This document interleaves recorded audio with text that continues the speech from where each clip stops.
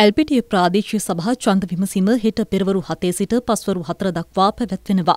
ඒ සඳහා දේශපාලන පක්ෂ 8ක් සහ ස්වාධීන කණ්ඩායමක් තරඟ කිරීමට නියමිතයි.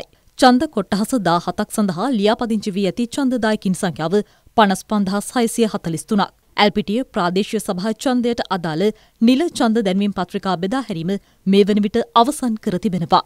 අද දිනේදී මෙම ඡන්ද මධ්‍යස්ථානවලට අදාළව නිලධාරීන් සහ අදාළ ලිපි ද්‍රව්‍ය සියල්ල අද දිනේදී ප්‍රවාහනය කරනවා. ඒ වගේම අද දිනේදී ඔවුන් එම ස්ථාන රැඳී ඉන්නවා. හෙට උදෑසන 7ට ඡන්ද විමසීම ආරම්භ වෙනවා. පස්වර 4ට ඡන්ද විමසීම අවසන් වෙනවා. ඒ වගේම තමයි මේ පළාත් පාලන මැතිවරණයේ පැවැත්වෙන්නේ මිශ්‍ර සමානුපාතික නියෝජන ක්‍රමය තුල. ඒ අනුව ඔබට ලැබෙන ඡන්ද පත්‍රිකාවේ තරඟ කරන ලබන දේශපාලන පක්ෂ සාස්වාදින කණ්ඩායම් තමයි ඡන්ද පත්‍රික ඇතුළත් වෙන්නේ. ඒ අනුව ඔබ සලකුණු කරන ආකාරයට දේශපාලන පක්ෂය එම පක්ෂයෙන් එම කොට්ටාශයෙන් ඉදිරිපත් වූ අපේක්ෂකයාට තමයි ඔහුට ඒ ඡන්දය ලැබෙන්නේ. එක් දේශපාලන පක්ෂය ස්වාධීන කණ්ඩායම් ලබා ගන්නා වූ ඡන්ද සංඛ්‍යාව මත පදනම් වෙලා ඔවුන්ට අදාළ මන්ත්‍රී දුර සංඛ්‍යාව තීරණය වෙනවා. ඒ අනුව අමතර ලැයිස්තුවෙන් ඉදිරිපත් කිරීම සිදු කිරීමට හැකියාව තිබෙනවා.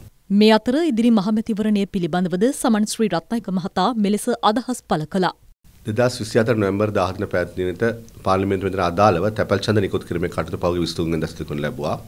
ඒත් අපි අවස්ථාවේදී වන්නි සහ කොළඹ දිස්ත්‍රික්ක දෙකේ තැපැල් ඡන්ද නිකුත් කිරීම අත්දුන් ලැබුවා. ඒ වෙනට ගරු අධිකරණයේ විභාගයට පත් වුණු නඩු කිහිපයක් නිසා. නමුත් ඒ නඩුවල තීන්දුවත් සමග අපි අද දිනේදී කොළඹ සහ වන්නි දිස්ත්‍රික්කවල තැපැල් ඡන්ද නිකුත් කිරීමේ කටයුතු සිදු කරන ලබනවා. ඒත් එක්කම මේ තැපැල් ඡන්ද අදාළ සාතිකින්දාරින් ලැබුණාන් පස්සේ නොවැම්බර් 30, ඔක්තෝබර් 30, නොවැම්බර් 1 සහ 4 කියන දිනවලදී ඒ තමන්ගේ සේවා ස්ථානවලදී ඡන්දය සැලකුණට හැකියාව ලැබෙනවා. ඒත් එක්කම තමන්ගේ සේවා ස්ථානයේ ඡන්දය සැලකුණට හැකියාව නොලබන ඡන්දදායකයන් තැපැල් දායකයන් සඳහා 7 සහ 8 කියන දෙදින ඔවුන්ගේ සේවා ස්ථානයේ පිහිටි දිස්ත්‍රික්කයේ මැතිවරණ කාර්යාලයේදී විශේෂ ඡන්ද මධ්‍යස්ථාන සකස් එහිදී ඡන්දය පාවිච්චි කිරීමේ හැකියාවක් තියෙනවා. මම විශේෂයෙන් ඉල්ලා සිටින ඔබගෙන් 30 වෙන් කරලා ආයතන 30 දිනේදීම ඡන්දය සලකුණු කරන්න. ඒ වගේම 1 සහ 4 දිනවලදීත් ඒ ආකාරයෙන් ඡන්දය සලකුණු කරන්න. මොකද මේ දින ගාන ඔබට ලබා දීලා තියෙන්නේ ඔබේ පහසුව සඳහා ඉඳා ඒ අදාළ දිනවලදී එක් එක් ඒ ආකාරයෙන් ඡන්දය සලකුණු කිරීම සම්බන්ධයෙන් නිසි ආකාරයට සකස් කර ගැනීම සාතිකන්දාගේ වගකීමක් වෙනවා.